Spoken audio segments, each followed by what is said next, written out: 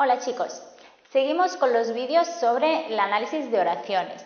En este vídeo os quiero explicar cuál es la diferencia entre hacer un análisis morfológico de una oración y un análisis sintáctico. Eh, el análisis morfológico y el análisis sintáctico lo vimos por, separados, eh, por separado en los vídeos anteriores, pero he querido hacer un vídeo explicando esta diferencia porque hay muchas personas que lo confunden. Em, para hacerlo voy a hacer una frase, y es una frase, una oración simple, muy sencilla, y la vamos a analizar de las dos maneras para que así lo entendáis mejor. La frase será, Juan va a la universidad. Empezamos con el, con el análisis morfológico. Recordad que el análisis morfológico es decir a qué categoría gramatical pertenecen cada una de las palabras que forman la oración. Esta oración está formada por eh, cinco palabras y tenemos que decir cada palabra qué es, qué es, si es un nombre o sustantivo, si es un determinante, si es un adjetivo y dentro de, cada categoría, pues a qué subcategoría pertenece o también eh, si es eh, singular, si es plural, el género, si es masculino, si es femenino, todo esto. Vamos a empezar. primera palabra, Juan.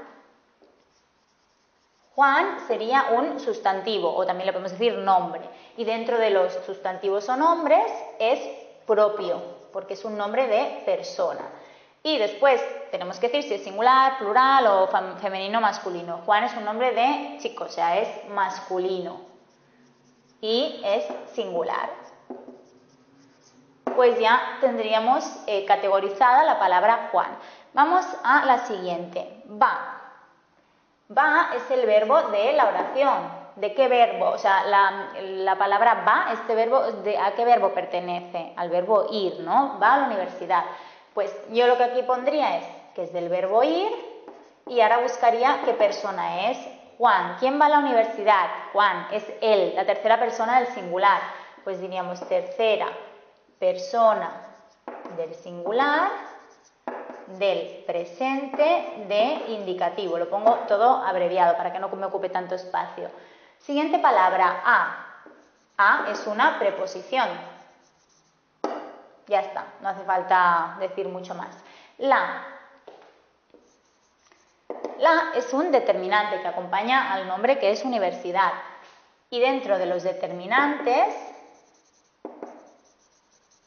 es un artículo, determinante artículo.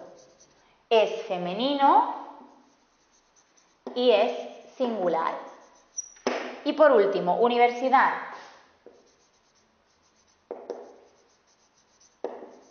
Universidad es un sustantivo o nombre común, no es propio, ¿sabes? Y también es femenino singular. El determinante y el nombre, si van juntos, siempre tienen que tener el mismo género y el mismo número. O sea que si una, palabra, un nombre es masculino singular, el determinante que lo acompaña tendrá que ser obligatoriamente masculino singular. Bien, ese ha sido el análisis eh, morfológico. Y ahora vamos a ver qué sería, cómo sería analizar esta oración con el análisis sintáctico. A ver, lo voy a hacer aquí más pequeñito para que podáis ver los dos. Juan va a la universidad. Bien, pues el análisis sintáctico sería, primero busco a ver cuál es el sujeto y el predicado de la oración. Lo más fácil es mirar dónde está el verbo. ¿Cuál es el verbo? ¿Cuál es la acción de la oración? Va, ¿no? El, va a la universidad, pues este es el verbo. Pues lo marco. ¿Quién va a la universidad? ¿Quién hace la acción del verbo? Juan. Pues este sería el sujeto, el núcleo del sujeto y el núcleo del predicado. Si os fijáis, el sujeto en este caso solo lo, tiene la palabra Juan.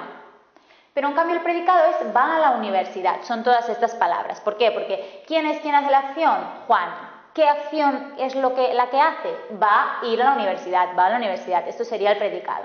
Entonces, ¿qué haríamos? Cogeríamos el sujeto, lo bajamos así con una línea, cogemos el eh, núcleo del predicado, lo bajamos también así con una línea, ponemos oración, que podemos poner también OS, oración simple.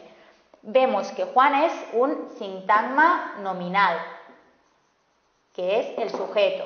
Va es sintagma verbal, que es el predicado.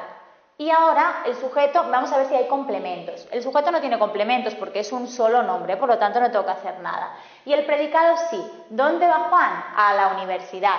Esto es un complemento del verbo. ¿Cómo se indica? Pues se baja el nombre, el, el determinante acompaña al nombre y esto es una preposición. Y la preposición la marcamos así, con una línea recta y una línea en diagonal. Como es un complemento del verbo, va, del verbo ir, lo unimos mediante una línea horizontal. Y ahora tendríamos que ver qué tipo de complemento es, que eso ya lo veréis más adelante cuando explique cada uno de los complementos. Eh, ¿Dónde va Juan? A la universidad. Como responde a la pregunta ¿dónde? Será, será un complemento circunstancial de lugar. Y se escribe CCL. Ah, y me he olvidado de decir que esto es un sintagma preposicional, porque está formado por una preposición, que es la preposición a. Bueno, pues esta es la diferencia eh, entre un análisis morfológico de una oración y un análisis sintáctico.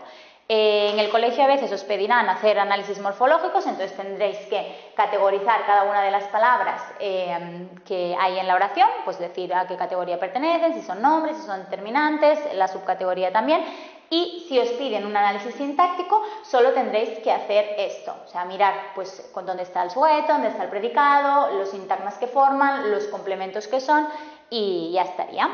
Bueno, espero que os haya ido bien este vídeo para entender la diferencia entre estos dos análisis y de todas maneras yo en la web he dejado unos ejercicios eh, con los que podréis practicar eh, con diferentes frases hacer los dos análisis, tanto el morfológico como el sintáctico, para que así lo acabéis de entender. Y nada más, nos vemos en la siguiente clase.